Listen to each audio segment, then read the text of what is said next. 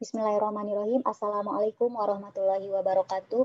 Perkenalkan nama saya Air Yudani dari Universitas Islam Indonesia Yogyakarta. Pada kesempatan kali ini, perkenankan saya mewakili tim riset kami mempresentasikan hasil riset yang telah kami lakukan dengan judul Peran Religiositas sebagai Mediator dalam Hubungan Keberfungsian Keluarga dengan Moral Disengagement. Pada dasarnya, pada usia remaja, remaja sudah memasuki tahapan perkembangan moral konvensional, di mana remaja mulai memahami dan mematuhi standar moral yang ada. Namun, kenyataannya masih terdapat remaja yang melanggar standar moral. Hal ini disebabkan karena terjadinya moral disengagement pada remaja. Menurut Bandura, moral disengagement itu merupakan proses psikologis yang mencegah aktifnya regulasi diri dalam menjalankan standar moral yang telah dimiliki oleh individu dalam penelitian sebelumnya menunjukkan bahwa tingginya tingkat moral disengagement pada remaja menyebabkan terjadinya perilaku agresif, perilaku bullying, perilaku kriminalitas di jalanan seperti halnya kasus kelitih yang sedang marak di DIY beberapa waktu terakhir ini, serta perilaku antisosial lainnya. Lalu, faktor apa saja ya yang mempengaruhi terjadinya moral disengagement pada remaja? Dalam penelitian-penelitian sebelumnya menunjukkan bahwa jenis kelamin, identitas moral, rendahnya empati, citizen, locus of control, serta usia, iklim budaya sekolah, hubungan sosial sistem dalam keluarga, agama, serta keberhasilan akademik itu mempengaruhi terjadinya moral disengagement. Dengan demikian, di sini peneliti mencoba mengkaji lebih mendalam bagaimana hubungan keluarga, agama, dan moral disengagement.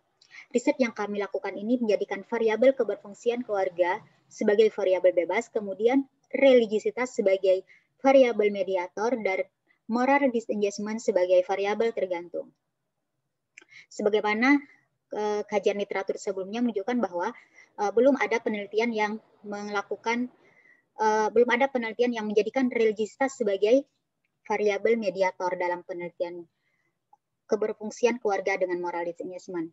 Dengan demikian, kami melakukan penelitian ini menjadikan religiositas sebagai variabel mediator.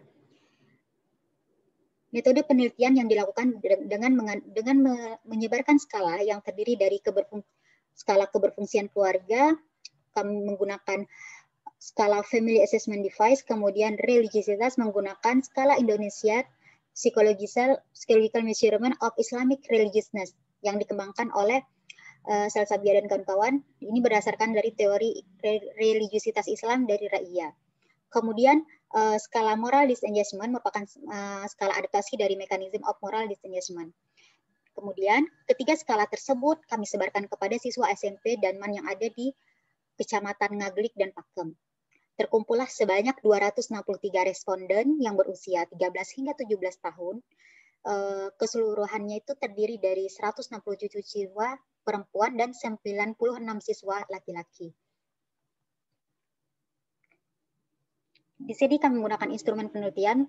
Sebelum kami melakukan uh, penelitian kepada 263 responden penelitian, kami melakukan uji exploratory factor analysis, di mana ketiga skala ini kami uji terlebih dahulu, kemudian mendapatkan bahwa nilai KMO-nya itu lebih besar daripada 0,05, lebih besar pada 0,5, sehingga ketiga skala ini uh, merupakan uh, cukup signifikan dan mewakili uh, mewakili mewakili subjek dalam penelitian ini. Kemudian terbentuklah bahwa dari keberfungsian keluarga itu terbentuk menjadi dua faktor, kemudian faktor, dan moral disengagement terbentuk menjadi tiga faktor yang terdiri dari 21 item. Hasil dari penelitian ini menunjukkan bahwa di sini tam, uh, hasil goodness of fit-nya menunjukkan bahwa nilai chi-square-nya itu 3,313, kemudian ada nilai GFI-nya di atas 0,9, kemudian CFI-nya juga di atas 0,9, dan RMC-nya di atas 0,08. Berdasarkan data tersebut dapat disimpulkan bahwa hasil goodness of fit model keberfungsian keluarga terhadap moral disengagement dan religiositas menunjukkan nilai Q-square dan GFI memenuhi syarat yang direkomendasikan dan dapat disimpulkan bahwa model tersebut fit. Hal ini dapat terlihat pada gambar yang ada.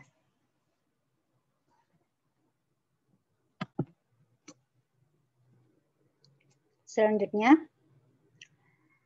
uh, pada tabel yang ada menunjukkan bahwa semakin tinggi religiositas remaja, maka semakin rendah moral disengagement.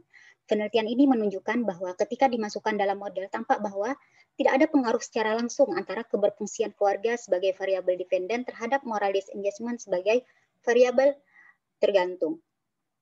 Di mana menurut Baron and Cheney dikatakan suatu variabel itu memediasi secara penuh jika pengaruh variabel independen pada variabel dependen secara langsung adalah signifikan, tapi pengaruhnya menjadi tidak signifikan ketika variabel mediasi dimasukkan ke dalam model. Dengan demikian, berdasarkan dari hasil analisa yang telah dilakukan, menunjukkan bahwa uh, variabel religiositas memenuh, uh, menjadi, menjadi variabel mediator secara penuh terhadap keberfungsian keluarga dengan moral disengagement. Dapat disimpulkan bahwa Religiositas itu mampu memediasi secara penuh antara keberfungsian keluarga terhadap moral disengagement.